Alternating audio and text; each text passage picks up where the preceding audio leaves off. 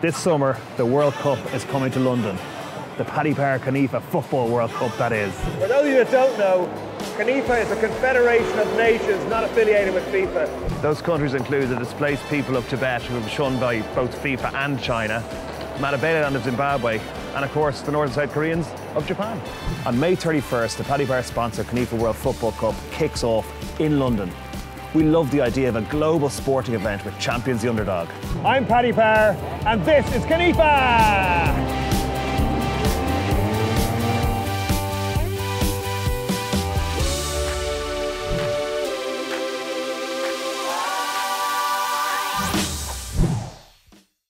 Paddy, welcome back. How was Tibet? Ready for trip two? Oh, Tibet was it was amazing. I just I got in touch with myself. It was like I've kind of spiritually matured or something. It's like, oh, I just I, have changed. I mean, I, like I'm, I'm, happy to stay off the the beaten track of commercialism and you know. But anyway, look, where are we off to next time? Tokyo, home of uh, Nintendo, Pokemon, um, sex robots. I've got you some great accommodation sorted. Amazing. Let's do it. So 19 hours travelling, um, but fair play to Office Bella for once. He sorted out the hotel looks really nice, but see you in the morning.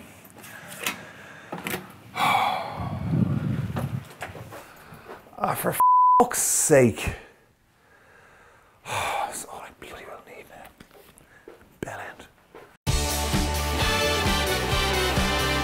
First impression of Tokyo. Just like home, to be honest. I feel like I could stay here for a while.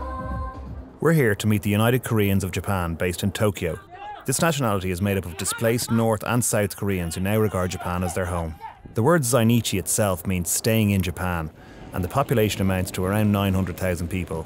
Not far off the population of Dublin. But before we meet the players, we're going to explore the city in which they are based. I can't believe this is legal, if it is in fact legal.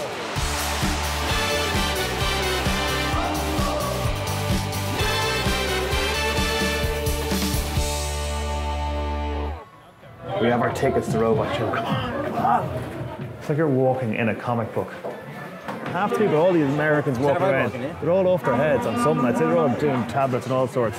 Vodka and tonic in a light bulb. It's meant to be enlightening.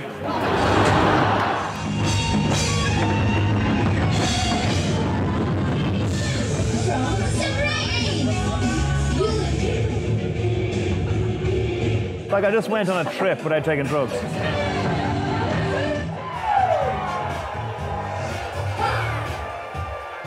That was amazing. It was like awful, but brilliant at the same time. Uh, yeah, the two of the lads, one just run up into the back of the other one, drove up his, uh, his rear end. There's no such thing as a Paddy Power event with no mishap. If that's all that happens today, we've done well. Just finishing the Korean barbecue for lunch. We've had ox bone and ox tongue in the soup. We've had pig's bowel, and we've also had chicken wings. So I think I'm going to go vegetarian. Within Tokyo, the Zainichi Koreans have their own district, their own community, their own cuisine, and their own football team. Korean Town has become a popular haunt with the younger generations of Japanese citizens, particularly for their interest in K pop pop stars who regularly visit and perform in the area. We met a couple of the players who'll be representing United Koreans in London this summer and asked a bit about their backgrounds and their thoughts ahead of the tournament.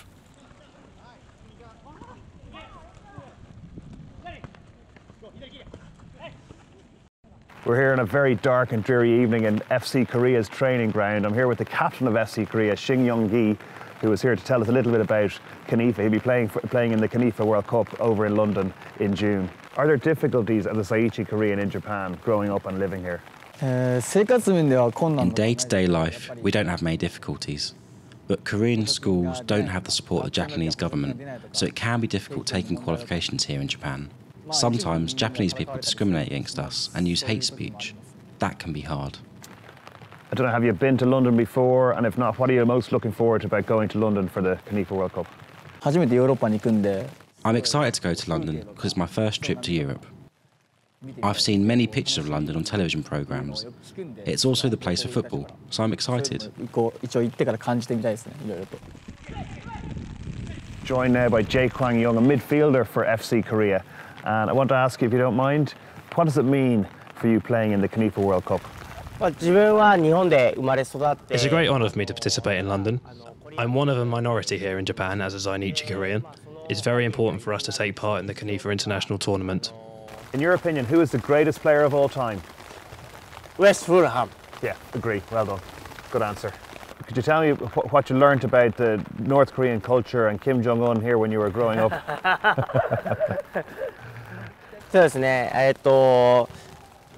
That's a difficult question for me, as I've been to North Korea as a football player. North Korea is a different image to the Japanese perception. For me, it's my country, and I love North Korea. How will your team do in the tournament? Will you win? やもちろん優勝しますチャンピオン I understand that one. That's fine.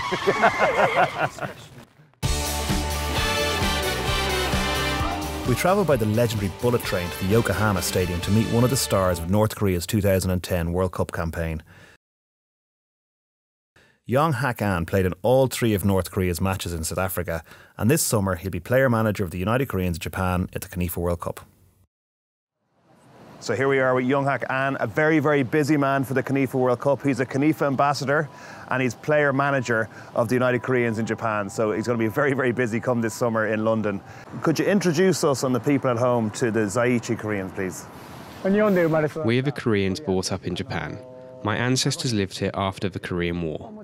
There are many difficulties and it is challenging living in Japan. I don't have Japanese residency, Football has been the bridge between our countries, Japan, North and South Korea. North Korea and Japan don't have great relations. Every time news about North Korea is broadcast, the atmosphere gets worse. I don't have the rights that Japanese people have. I'm a Zainichi Korean and a North Korean passport holder, so it is very difficult for me. What's it like travelling on a North Korean passport? Uh, Every time I visit a country, I have to use a visa. Even with a visa, I'm always stopped by customs because they have never seen a North Korean passport before. Even though I was a professional player, I could not visit the USA. Can you explain how proud you were to play at the 2010 World Cup in South Africa? Since I started playing football from six years old, it's been my dream to play in the FIFA World Cup so it was very exciting walking onto the pitch at the South Africa World Cup. After that, the highs of uh, Brazil, then there was the lows of yeah, the Portugal game, which was tough.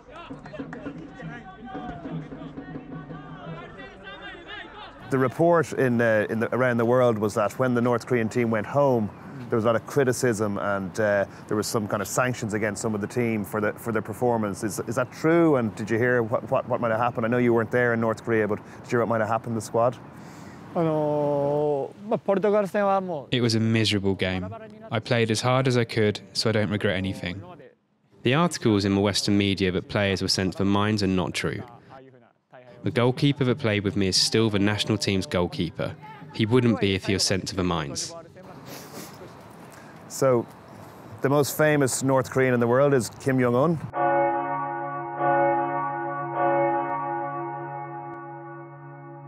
I'm just wondering, what does he mean to you? He's a young leader and he's very interested in football and supports the teams in his country. But the Western media is very negative about him. I hope that more positive news will reach the world. The Hanami Blossom Festival is a public holiday here in Japan. And what basically happens is people gather in parks under these pink blossom trees and they have picnics and they picnic all day and sometimes into the night. But there's huge competition to get the best spots beneath the best trees. And sometimes apparently people queue up days in advance to get that number one spot. Hanami is a very important festival for the Japanese people and the cherry blossoms uh, is the symbol of the uh, spring. For example, they, uh, they do the hanami even in the nighttime, in the evening. So they, uh, if uh, the company people want to do the hanami, uh, they um, of the, uh, for example, the afternoon and keep the place and drink sake, uh, drink too much. When uh, the nighttime is uh, still uh, cool at that season, so they you drink sake uh, under the trees, and after that they go to the bar and they drink more. A week in Japan done, and I have to tell you, this place is mad. Now, it's good mad. It's busy. It's really fast paced. But in a funny way, once you get into the rhythm of the pace, it's kind of easy. Food wise, we went a bit Korean, a bit kind of authentic Korean on the food. I've had like pig's bowel, a lot of ox tongue, a bit of pig forehead, lots of entrails. And I have say, I'm kind of looking forward to a bit of bacon and cabbage when I get home, to be honest.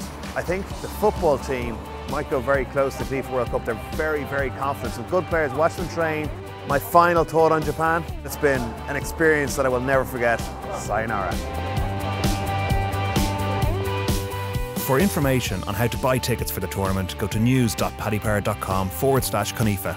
Sure, they're only nine quid.